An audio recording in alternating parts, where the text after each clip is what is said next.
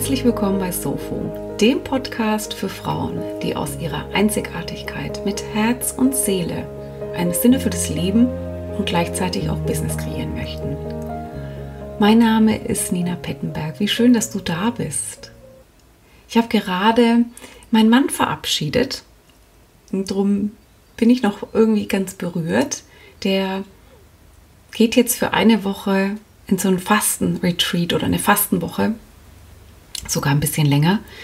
Und deshalb hat uns dieses Thema Loslassen, Fasten, etwas bewusst, wie jetzt zum Beispiel ja hier in dem Fall der Nahrung, zu sagen, okay, ich lasse es los für eine Zeit, um etwas Neues zu erfahren, um mich in meinem Körper auch anders zu erfahren. Und deshalb hat uns dieses Thema ganz viel beschäftigt. Und so möchte ich es auch zum Zentrum unserer Podcast-Folge jetzt machen, das Thema Loslassen. Es ist ja jetzt dann auch ab dem 14. Februar Fastenzeit bis 30. März und vielleicht bist du ein Fan davon und sagst, okay, ich mache das jedes Jahr, lasse ich irgendwie bewusst etwas weg. Ich lasse etwas los wie Zucker, Schokolade oder Alkohol mm, oder irgendeine andere ungesunde Verhaltensweise.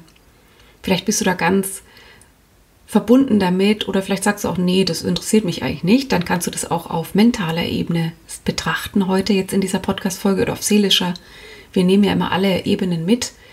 Hm, für mich ist so die Idee, mit dir einfach in dieses Thema einzutauchen, es zu erforschen, äh, zu gucken, was du in diesem Jahr vielleicht auch ganz bewusst sein lassen möchtest. Und deshalb hatte ich so gerade ein inneres Bild. Ich habe mir auch jetzt hier ein Blatt bereitgelegt und einen Stift. Mhm. Das heißt, wenn du mich immer mal so gruscheln hörst, dann schreibe ich einfach mir etwas auf. Und zwar habe ich jetzt in die Mitte dieses Blattes Loslassen geschrieben und möchte ein Mindmap oder Soulmap machen, wie, wie, was auch immer jetzt daraus entstehen mag. Und zum einen Dinge notieren, die mir in den Sinn kommen, die ich bewusst loslassen möchte und auch einfach Inspirationen, innere Bilder, Gedanken und vielleicht hast du Lust, das auch zu machen. Also schnapp dir ein Blatt Papier, so groß wie du magst, fühl einmal hin, was da Ausdruck möchte und dann lass uns loslassen, mal betrachten gemeinsam. Ich denke, es ist ja eine ganz wichtige Fähigkeit, auch um Raum zu schaffen für Neues. Und ich habe da so drunter geschrieben unter Loslassen, lass alles los, was du nicht bist. Da habe ich schon öfter mal drüber geschrieben auch und erinnere mich da selbst immer wieder daran, denn oftmals glauben wir ja, je mehr wir machen, desto besser ist es, ja, desto mehr erreichen wir. Aber ich glaube manchmal, dass genau durch das Gegenteil, also das bewusste Weglassen von Projekten, Dingen, Verpflichtungen, Beziehungen, die sich einfach nicht mehr stimmig anfühlen, die dich viel Kraft kosten, entsteht Raum für dich und das, was wirklich wichtig ist. Also es entsteht ein Raum für Dinge, die funktionieren, für Dinge, die stimmig sind und wir erzeugen damit ein ganz anderes Resonanzfeld.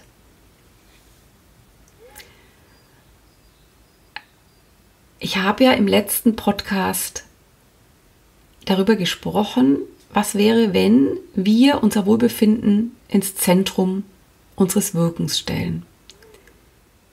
Danke übrigens für die lieben Feedbacks zu der Folge. Das scheint in ganz vielen von euch etwas berührt zu haben. Also vielen, vielen Dank auch für den Austausch. Die generelle Frage, wenn du die Folge nicht gehört hast, und ich lade dich herzlich noch dazu ein, denn ich halte das für eine ganz wesentliche Frage. Was stellst du ins Zentrum deines Wirkens jetzt im neuen Jahr? Was bekommt deine Liebe, deine Achtsamkeit, deine Energie? Was darf also auch wachsen? Ne? oder diesen ähm, liebevollen Vorzeichen. Und da ist mir so bewusst geworden, weil ich habe in der Podcast-Folge geteilt, dass ich gerne das Wohlbefinden in die Mitte stellen würde, mein Wohlbefinden. Und darf ich das als Businessfrau überhaupt? Würde das meinem Erfolg entgegenstehen? Und da ist mir etwas bewusst geworden, denn in, im Creation Lab im Januar, da haben wir unsere Jahresessenzkarten kreiert. Da wurde ähm, mir durchs Kreieren meiner Jahresessenzkarte bewusst, dass es in diesem Jahr für mich darum geht, mich immer wieder ganz bewusst mit dem Moment zu verbinden, ganz im Hier und Jetzt zu sein, den Moment gestalten, Momentgestalterin zu sein. Und so simpel die Botschaft jetzt für dich auch klingen mag, so viel Übung und Achtsamkeit bedarf das ja im Alltag. Das weißt du selbst. Das ist ja etwas, was wir wissen, dass wir uns eigentlich mehr in den Moment holen dürfen. Dass wir mehr jetzt, das Jetzt genießen und jetzt unsere Kraft sehen. Und meine Essenzkarte, die entstanden ist, das ist was sehr Puristisches, wo ich am Anfang dachte, so ein kleiner Fuchs, der die Augen geschlossen hat und so gen Himmel sich richtet und dann sind noch ein paar andere Sachen mit drauf, aber da dachte ich erst, die ist so simpel, diese Essenzkarte und was, da passiert ja gar nicht viel. Und da wurde mir bewusst, darum heißt es ja auch Essenzkarte, es geht um die Essenz des Innehaltens im Moment und diesen Moment total wertzuschätzen und zu genießen, zu verinnerlichen und zu gucken, was ist jetzt hier in diesem Moment zu tun. Also eine Haltung, die ich natürlich habe, aber die ich noch viel mehr verkörpern möchte. Und da, und jetzt komme ich zu unserem jetzigen Thema, es gibt übrigens noch die Aufzeichnung von diesem Creation Lab, hm, wenn du die ähm, dir gerne angucken möchtest, dann verlinken wir das. Das kannst du jetzt noch im Shop ähm, holen. Und in diesem, was hole ich ins Zentrum, kommt natürlich die Frage auf, was muss ich eigentlich alles loslassen und verändern, damit ich das überhaupt kann? Ja, weil sonst ist es ja vom Kopf her, denke ich mir ja klar, Wohlbefinden ist jetzt im Zentrum meines Wirkens oder was es auch immer für dich ist. Ja, vielleicht steht etwas Wachstum in der Mitte deines Wirkens oder Ausdehnung oder Selbstständigkeit, was auch immer in der Mitte steht. Was ist das, was du loslassen darfst, damit das, was du ins Zentrum holst, überhaupt eine Chance hat zu überleben oder überhaupt in dem Jahr nicht dann ab März wieder in Vergessenheit gerät, mm, weil, weil dann irgendwie andere Sachen wieder wichtiger sind. Also, was muss ich loslassen, um das Zentrum meines Wirkens tatsächlich zum Erblühen zu bringen? Was halten wir aufrecht vielleicht, was dem entgegensteht? Also jetzt bezogen zum Beispiel auf mein Wohlbefinden, ist mir was ganz Witziges bewusst geworden, ähm, weil ich natürlich jetzt mit dieser Brille auch durch meinen Alltag gehe. Und vielleicht kennst du es, das ist jetzt eine, ein, aus dem Familienleben. Wir haben zwei Jungs, die immer viel Hunger haben. Und so die erste Frage eigentlich immer aus, wenn die zurückkehren aus der Schule ist, was gibt es zu essen? Türe des Kühlschranks wird geöffnet und dann wird erstmal gegessen. Und manchmal nervt mich das richtig, weil ich so denke, oh, es geht immer nur ums Essen. Und dann habe ich aber überlegt, okay, was würde mich wohliger fühlen lassen? Und das ist tatsächlich eine äh, großzügigere Planung. Also nicht dieses jeden Tag einkaufen oder jeden zweiten Tag, sondern in größeren Mengen einfach mal einzukaufen und vorauszuplanen. Da habe ich gestern die Kinder gefragt, ich möchte gerne von beiden Jungs, ähm, die kochen nämlich auch mittlerweile schon ganz gerne, mh, hm, eine Liste mit Gerichten, die sie gerne mal kochen möchten. Und da kam jetzt viele Nudelgerichte natürlich, und, ähm, aber es kam von jedem drei Vorschläge. Und was sie dafür brauchen. Also eine Liste, was, was müsste eigentlich eingekauft werden, damit all das gekocht werden kann. Und so plane ich jetzt, das ist eine langfristige Umstellung natürlich, hier einen Switch im Sinne von, ich lasse los weil das absolut meinem Wohlbefinden ähm, entgegensteht, dass wir täglich neu darüber nachdenken, was koche ich, was kochen wir, sondern dass wir vorausplanen. Und vielleicht sagst du, ja, das ist ja super easy, weil das mache ich ja schon seit Jahren. Aber für uns ist es jetzt eine Neuerung. Wir sind da manchmal sehr im Moment und möchten dann auch das kochen, was jetzt gerade so ansteht. Aber jetzt bringe ich die Kinder mit in diese Planung hinein und auch wir gehen jetzt dann auch am Wochenende zusammen einkaufen, dass das einfach mal gemeinsam erledigt wird und größere Planungszeiträume. Also das ist jetzt ein Beispiel so aus dem Leben, aus dem Familienalltag, wo wir das, was wir ins Zentrum unseres Wirkens stellen, einfach schon mal überprüfen können, was steht dem eigentlich entgegen. Was muss ich loslassen? Was halte ich eigentlich die ganze Zeit aufrecht, was mir nicht gut tut? Was will ich einfach nicht mehr? Und du kennst es bestimmt auch. Oft so im Alltag denken wir, das will ich eigentlich nicht mehr und irgendwie machen wir es immer weiter, weil wir uns nicht die Zeit nehmen, einmal neu drüber nachzudenken, wie wir es denn eigentlich wollen. Was willst du nicht länger akzeptieren und hinnehmen? Das kannst du jetzt auch auf deine Loslass-Map äh, gerne auch mal so hm, mit notieren. Dass du, das habe ich mir nämlich überlegt, du könnt, wir könnten es jetzt so machen, dass wir verschiedene Lebensbereiche um das Loslassen schreiben. Du kennst ja das Mindmapping, dass du ein paar Wolken oder einfach Kreise zeichnest und dann könnte da rein Familie, da wäre jetzt mein Beispiel das, was ich gerade gebracht habe. Dann Finanzen, Beruf oder deine Selbstständigkeit, Beziehung, Freundschaften, Spiritualität, Umgebung, Wohnraum. Schau mal, welche Aspekte deines Lebens dir einfach wichtig sind und dann kannst du einmal gucken, welche Verhaltensmuster, welche Zweifel, Konflikte, innere Haltungen oder Einstellungen möchte ich loslassen, verändern, ablegen. Und da einfach dir einen Moment mal Zeit nimmst und diese Loslass-Map kannst du ja auch über die nächsten Tage immer mal wieder betrachten und frisch drauf gucken, was da noch dazu möchte. Lass alles los, was du nicht bist. Setzt natürlich voraus, dass wir ein Stück weit spüren, wer bin ich und was ist mir wichtig, was ist meine Essenz. Und all das, was nicht so in Resonanz geht, lasse ich los. Und während du vielleicht schreibst, erzähle ich noch ein bisschen oder du kannst auch den Podcast natürlich anhalten und erstmal eintauchen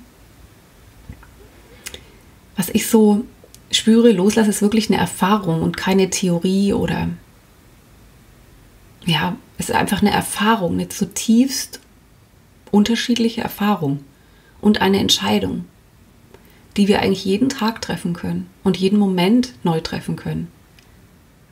Loslassen hat für mich etwas mit Entbindung zu tun, mit Ablösung, mit Befreiung, Aufbruch von etwas, von dem man im tiefsten Herzen ich weiß, dass es einem nicht gut tut oder dass es mh, hm, alt ist, dass es ausgedient hat. Denn nichts, was wir festhalten, kann sich frei entfalten und schwingen. Also nicht nur in Beziehungen, sondern auch in, im Umgang mit Dingen. Ja, es geht hier jetzt ja, wir haben jetzt viel über innere Verhaltensmuster oder Glaubenssätze gesprochen, aber es geht natürlich auch im Außen darum, Dinge loszulassen, die dir eigentlich Kraft kosten. Das habe ich im Winter jetzt auch ganz bewusst gemacht, bevor wir in die Auszeit sind, habe ich meinen Kleiderschrank mal wirklich komplett ausgemistet und da hilft mir immer die, die von Marie Kondo die, die äh, Decluttering-Methode, dass du jedes Kleidungsstück das kannst du mit allen Gegenständen machen, wirklich in die Hand nimmst und fragst, ob das dich noch, ob das dir noch Freude bereitet, ob das dich noch glücklich macht. Und ich habe noch so gefragt, bin ich das? Also ist dieses Kleid, das da seit einem oder noch länger im Schrank hängt, dieses Kleid, was ich immer noch hübsch finde, aber nie anziehe, bin, es, bin ich das noch? Ja, oder ist es aus einer Zeit, die einfach vergangen ist? Und so habe ich meinen ganzen Kleiderschrank ausgemistet. Und dann fragt er die Marie Kondo noch ein Stück weiter und sagt, okay, ist es etwas, was ich vielleicht noch weiter schenken könnte? Macht es jemand anderen Freude? Und so kannst du es dann einem guten Zweck spenden. Und ich habe tatsächlich nur die Dinge, die jetzt einfach kaputt waren oder ja, die dann einfach auch ähm, weggeworfen. Ansonsten ging es alles an gute Zwecke. Und das Spannende war, ich habe wirklich mal den Mut gehabt, da radikal vorzugehen, alles loszulassen, was ich nicht bin. Und dann war dieser Kleiderschrank halb leer. Und dann habe ich alle Kleider etwas mit mehr Luft zum Atmen aufgehängt. Und es tat so gut. Das war wie so ein frischer Wind, als wenn ein frischer Wind dadurch pusten kann. Und so ist es auch in uns, wenn wir uns trauen, Dinge loszulassen. Und das kann damit beginnen, dass du im Außen beginnst, etwas aufzuräumen, auszusortieren. Also guck mal, wo du leicht Zugang findest. Und da eine Unterstützung vielleicht auch für deine Mindmap. Und dass wir jetzt einmal darauf blicken, auf dieses Loslassen. Mm.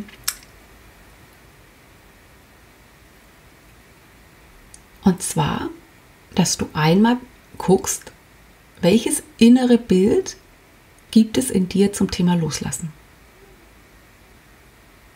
Vielleicht ist da direkt eine Idee, dass du deinen Stift in die Hand nimmst und die Hand öffnest und der Stift fällt zu Boden und du sagst, ja, das ist für mich Loslassen. Oder es ist eher ein körperlicher Zustand, wo du sagst, ich atme tief durch die Schultern, lasse ich sinken und es ist wie so eine innere Entscheidung, ich lasse jetzt los. Lass mal ein inneres Bild entstehen. Und erforsche das gerne auch im Sinne von, upsie, habe ich doch hier drin, ähm, Entschuldigung, ich habe irgendwo aus Versehen hier drauf gedrückt. Ähm, welches innere Bild hast du zum Loslassen? Oder welches darf in dir entstehen? Hast du in dir einen Meister des Loslassens, wo du sagst, ja, die, diese, dieser Mensch, diese Person, diese Filmfigur, dieses, dieses Phänomen in der Natur zeigt mir Loslassen in seiner reinsten Form, der Baum, der die Blätter fallen lässt.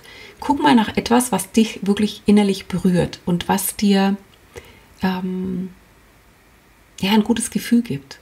Und das kann auch wieder auf dein Mindmap wandern und du kannst es erforschen mit, wie duftet es Loslassen für dich? Wie duftet Loslassen für dich? Bei mir ist es was ganz Frisches, also wie so eine ganz frische Brise fast schon, ja, wie am Meer, so ein ganz frischer Duft. Wie schmeckt Loslassen für dich? Hm, klares Wasser ist es bei mir.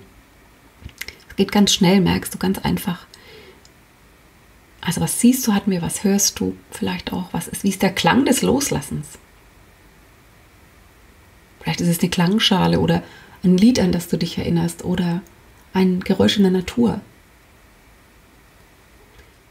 Erforsche mal dein inneres Bild, dein, deine Wahrnehmung zu loslassen. Vielleicht hast du auch Erinnerungen in der Vergangenheit, wo dir loslassen ganz leicht gefallen ist, wo du sagst, ah, super, das erinnere ich mich, das, und das hat so viel Energie freigesetzt.